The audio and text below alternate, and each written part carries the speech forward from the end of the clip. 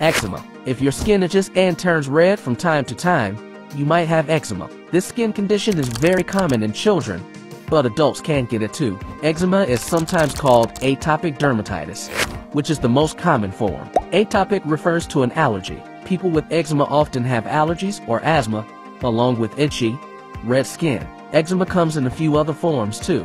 Each eczema type has its own set of symptoms and triggers. There are also some common symptoms for all types of eczema.